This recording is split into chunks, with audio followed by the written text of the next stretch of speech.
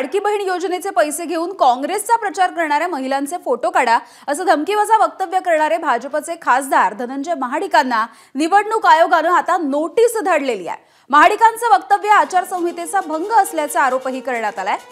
निवडणूक आयोगानं या संदर्भामध्ये तात्काळ उत्तर देण्याचे आदेश दिले आहेत. दरम्यान धनंजय महाडिकांनी वादग्रस्त वक्तव्यावरती सारवासारव करायला सुद्धा सुरुवात केली आहे. काँग्रेसच्या प्रचारामधील महिलांना लाडकी बहीण योजनेचा लाभ मिळावा म्हणून त्यांचे फोटो काढायला सांगितले अशी सारवासारव महाडिकांनी केली आहे. तर महाडिकांनी कोणतं वादग्रस्त वक्तव्य केलं होतं आणि त्यानंतर काय स्पष्टीकरण देत आहेत महाडिक आपण बघूयात. जर इथं काँग्रेसची रॅली बिली निघाली आणि त्यामध्ये जर तुम्हाला महिला दिसल्या ज्या पंधराशे रुपये आपल्या योजनेच्या घेतात त्यांचे फोटो काढून घ्या.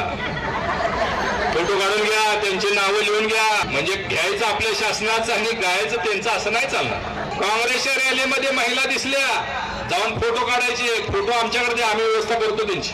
महिलांना मोठ्या प्रमाणात या योजनेचा लाभ होत असताना काँग्रेसच्या नेते मंडळींनी त्यांना खोटं नरेटिव्ह सेट करून लव जिहादचा प्रकार होऊ नये यासाठी त्यांच्या रॅलीमध्ये काँग्रेसच्या लाभ घेणाऱ्या महिलांनी जाऊ नये असं माझा म्हणण्याचा उद्देश होता. अशा जर महिला जात असतील तर त्यांना कदाचित लाभ मिळाला नसेल.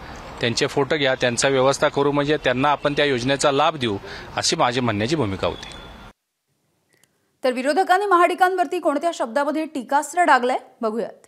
निषेध शेम शेम करायला पाहिजे या लोकांचं.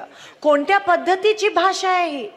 ही महाराष्ट्राच्या संस्कृतीला सु- शोभणारी तरी भाषा आहे का? एवढं तुच्छ घ्या फोटो बिनधास घ्या आमचे फोटो. आणि त्यांचे फोटो घ्यायच्या आधी ना आमचे फोटो घ्या. बघूया तुम्ही काय बिघडवू शकता या महाराष्ट्राच्या लेखीचा जे अनेक वर्ष आमच्यावर अतिशय सुसंस्कृतपणे धनंजय महाडिक होते काय त्यांना झालंय हा संगतीचा प्रॉब्लेम झालेला दिसतोय. मी जाहीरपणे धनंजय महाडिकांच्या त्या वक्तव्याचा निषेध करते. हे लोक ज्या पद्धतीने बोलतात यांच्या डोक्यात सत्तेचा माज गेला आहे. त्यामुळे त्यांना असं वाटतं की जणू काही त्यांनी त्यांच्या बापजाद्याची प्रॉपर्टी विकून इथल्या माय भगिनींना त्यांनी दौलत जादा केली आहे. त्या पैशावरून तुम्ही अशा पद्धतीने जर बोलणार असाल आणि आमच्या महिलांची अवहेलना करणार असाल या सगळ्यांना महाराष्ट्राची जनता उत्तर दिल्याशिवाय राहणार नाही. आज स्वतः वक्तव्य करायचं स्वतः चुकीचं बोलायचं आणि काँग्रेसनं चूक दाखवली देशातल्या सगळ्या लोकांनी चूक दाखवल्यावर ती जी चूक नाही आहे ह्याच्यासारखं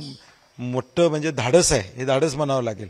की केलेली चूकसुद्धा मान्य करायची नाही ही मोठं धाडस आहे त्यांचं परंतु या महाराष्ट्रातल्या भगिनी हे विसरणार नाहीत. एबीपी माझा उघडा डोळे बघा नीट.